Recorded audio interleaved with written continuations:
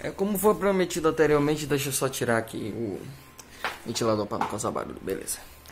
Como foi prometido anteriormente, eu na verdade vou querer fazer uma pequena análise nesse desse livro, na verdade, que é baseado nas falas de John Stuart Mill.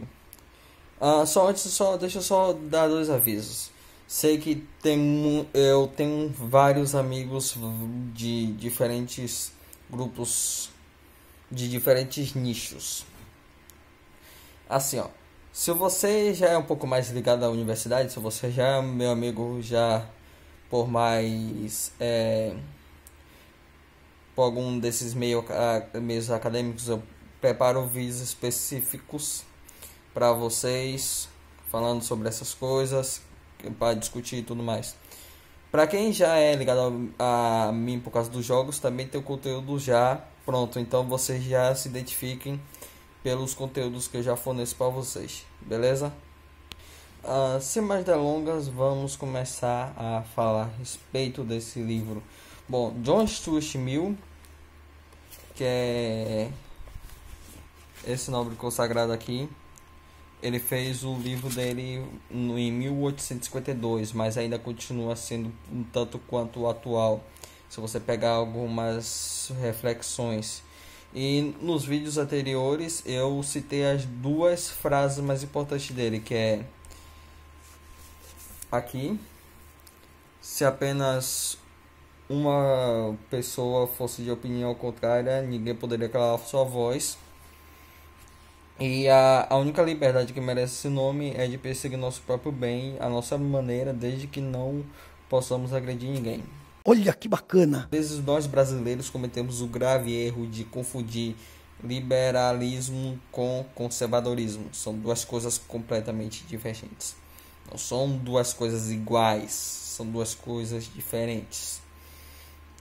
E às vezes nós cometemos esse erro grave e básico porque conservar, você conserva alguma coisa. Quando você entra pro lado liberal, você está querendo uma inovação, você está querendo uma construção. Coisa que no conservadorismo não acontece. Beleza, beleza, beleza, maravilha. Ele, ele já começa a falar sobre se apenas uma pessoa for da opinião contrária. Ele está falando da tirania, do chamado tirania da maioria, que talvez seja o erro da democracia. Porque vamos supor, 65% da população fala que a Terra é plana. É a maioria. Mas você diz que está certo? Não está.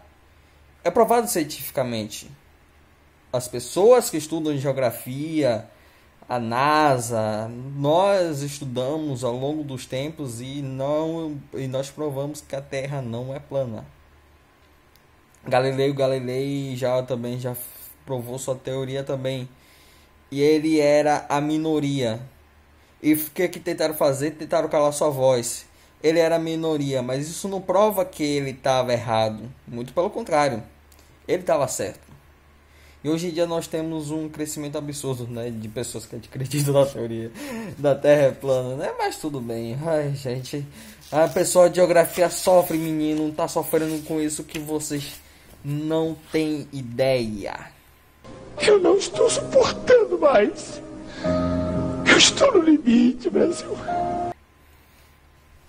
Ah, ele também fala dessa época que nós devemos ser livres porque tinha uma certa intolerância nessa época em questão à liberdade religiosa. Ele cita mais esse conceito de liberdade religiosa porque é o que os é, ele diz aqui, ó, os grandes escritores às quais os mundo deve o que possui de liberdade religiosa defenderam sobretudo a liberdade de consciência como direito inalienável e rejeitaram terminamente a ideia de que o ser humano devesse prestar conta de sua crença religiosa aos outros. 1859 e esse texto é esse essa obra na verdade desse autor continua sendo atual. É verdade. Não devemos, de forma alguma, falar que não, porque eu sou cristão fervoroso. Cara, caguei. Caguei. Sua religião não determina a sua moral. Se você é do candomblé, não determina a sua moral. Quem determina a sua moral é você. Não é sua, é sua posição econômica, não é sua religião, não é sua orientação sexual. É você próprio que determina se você é bom ou mal. Bota isso na sua cabeça, que é muito importante. Garoto espertinho, você é foda, meu. Quando a gente interfere na liberdade de alguma pessoa, no caso, quando a gente agride ela, eticamente tá errado. E é eticamente que essa liberdade só pode ser interferida quando alguém interfere na nossa liberdade. Como ele já próprio disse. Ele fala também aqui, ó. Porém, sendo, sendo quase tão importante quanto a própria liberdade de pensamento baseando em grandes partes nas mesmas razões, é praticamente inseparável dela. Em segundo lugar, o princípio requer liberdade de gostos e de atividades. Estruturarmos um projeto de vida que se adeque ao nosso caráter de fazermos o que quisermos, sujeito às consequências que podemos que podem suceder suceder a isso, sem impedimento dos nossos semelhantes.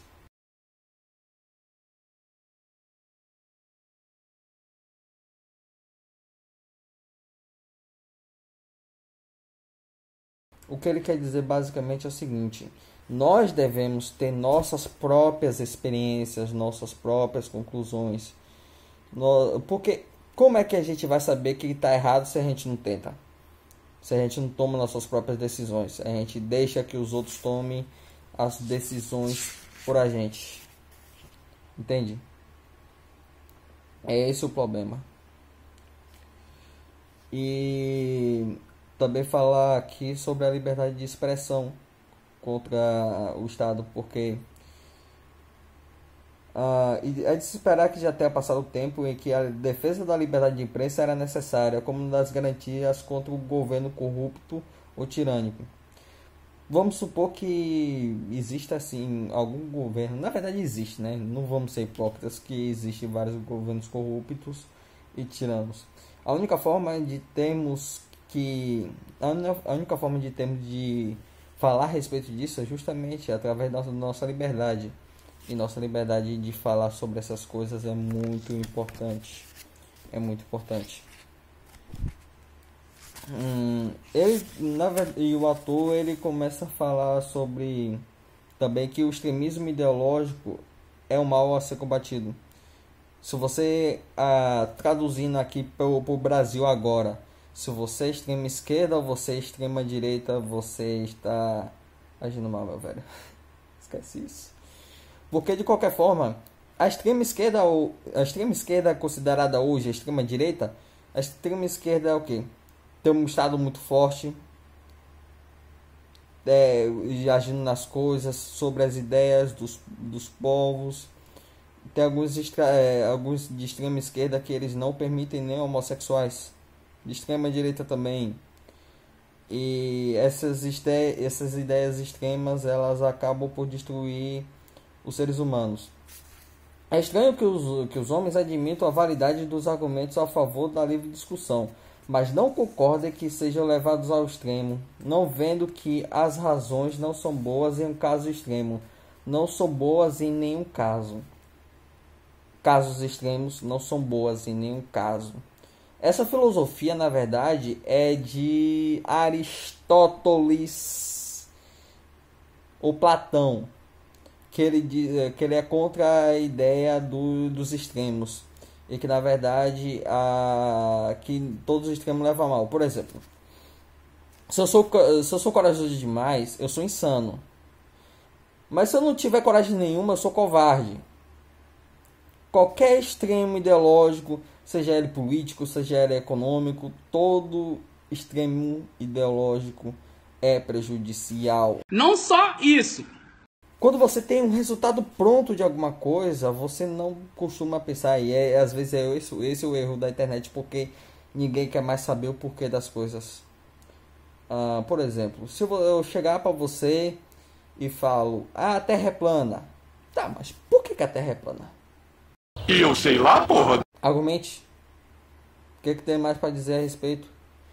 Ou então as pessoas vão dizer, ah. Vou, vou pegar dos dois lados, na verdade. Vou provocar os dois lados.